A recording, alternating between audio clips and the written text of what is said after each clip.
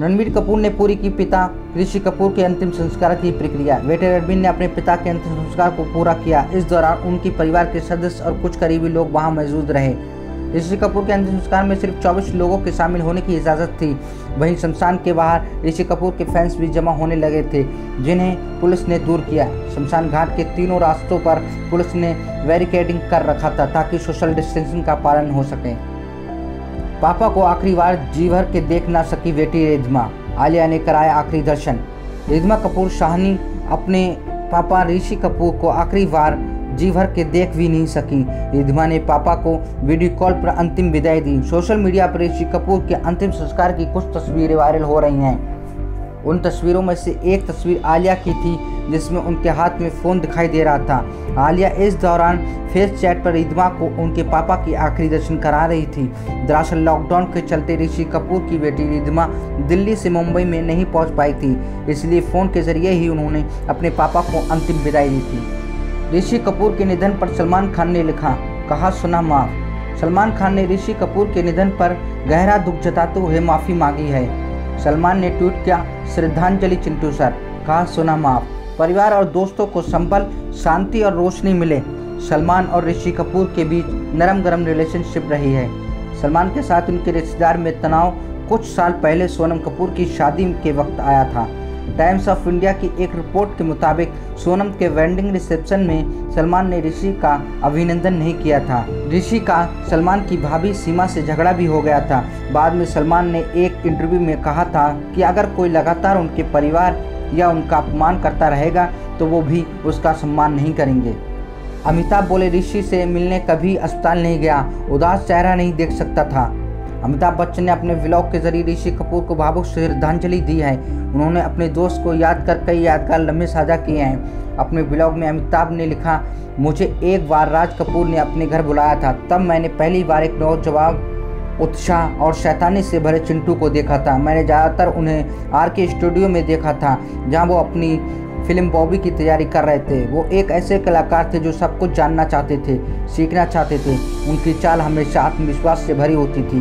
कई बार उनकी चाल मुझे महान पृथ्वीराज जी की याद दिलाती थी। ऋषि कपूर और इरफान खान के निधन से गमगीन धर्मेंद्र बोले, सदमे पर सदमा। एक्टर धर्मेंद्र ने दोनों कलाकारों के निधन पर अफसोस ज़ाहिर किया है। धर्मेंद्र ने ट्वीट करके लिखा, सदमे के बाद सदमा। ऋषि भी चला गया। उन्होंने कैंसर के खिलाफ बहादुरी से लड़ाई लड़ी। वो मेरे लिए बेटे की तरह थे। बहुत दुखी हूँ और टूटा हुआ हूँ। उनके परिवार के लिए दुआएँ। ऋषि कपूर ने धर्मेंद्र के साथ कई फ़िल्मों में काम किया था। इनमें सितमगर, कातलों के कातिल शेर दिल टेल मी ओ खुदा, हथियार जैसी फ़िल्में शामिल हैं। ऋषि के लिए अनिल कपूर ने लिखा इमोशनल नोट मेरी माँ के लिए आप बेटे की तरह थे। अनिल कपूर ने ऋषि कपूर के बचपन की फ़ोटो शेयर की है। ये फ़ोटो कुछ वक्त पहले ऋषि कपूर ने ही सोशल मीडिया में साझा की थी। इस तस्वीर में नन्हे ऋषि, अनिल कपूर और बोनी कपूर भी हैं। उनके हाथों में कोला है। इस तस्वीर के साथ अनिल ने लिखा, मेरे प्यारे जेम्स पता नहीं कहाँ से शुरू करूँ। बड़े होने से लेकर पर्दे पर अपने सपनों को जीना।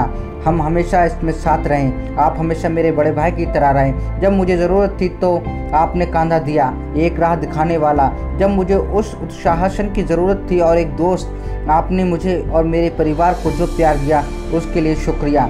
अनिल ने आगे लिखा, आप मेरी माँ के लिए एक बेटे की तरह थे और आप जानते हैं कि कृष्णा आंटी को मैंने हमेशा माँ ही समझा।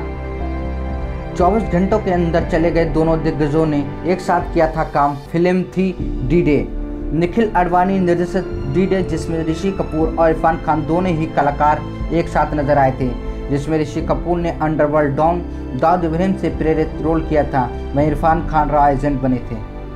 चिंटू सर के फ़ैन थे Karan Johar. Emotional note share कर बताया कैसी थी दीवानगी। करण जौहर बचपन से ऋषि कपूर की एक्टिंग के दीवाने थे। उन्होंने ऋषि कपूर को याद करते हुए सोशल मीडिया पर एक पोस्ट शेयर किया है। उन्होंने इंस्टाग्राम पर ऋषि कपूर की एक तस्वीर के साथ एक पोस्ट लिखा है, मैं तब सात साल का था और मुझे पता चला कि मेरे पेरेंट्स दुनिया मेरी जेब में के प्रीव्यू के लिए बुलाए गए हैं। इसमें मेरे पसंदीदा एक्टर ऋषि कपूर थे। स्कूल वाला दिन था और मेरी माँ ने मुझे अपने साथ ले जाने से मना कर दिया। मैंने ज़बरदस्त नाटक करना शुरू किया क्योंकि मुझे ये बर्दाश्त नहीं हो रहा था कि मुझे चिंटू सर की फ़िल्म देखने जाने की इजाज़त नहीं है। आखिरकार भी मान गए और मैं चला गया।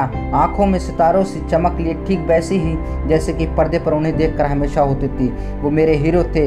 बहुत ही हैंडसम, बेहद चार्मिंग गजब के रोमांटिक ऋषि कपूर मेरा बचपन हमेशा उन्हें देखकर गाते हुए बीता उनकी एक तरह प्रिटेंड स्वेटर पहनकर अपने बेडरूम में डांस किया करता था। स्कूल के दोस्तों के सामने अपने डिनर प्लेट को लेकर उनके गाने डफली वाले की नकल किया करता था। ऋषि कपूर को याद कर भावुक हुए कुमार शानू उनके लिए गाय गाने को लेकर सुनाई इमोशनल कहानी। एक टीवी चैनल से बातचीत में कुमार सानू ने कहा, उन्नीस सौ बानवे में दीवाना फ़िल्म का गाना, सोचेंगे तुम्हें प्यार।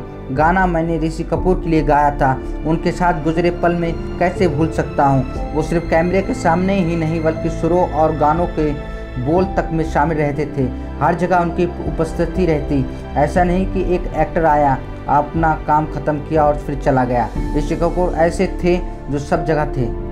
ऋषि कपूर कुछ दिन पहले तबीयत बिगड़ने के कारण अस्पताल में भर्ती हुए थे। देखिए अस्पताल में एक आखिरी पल ऋषि कपूर जी के साथ।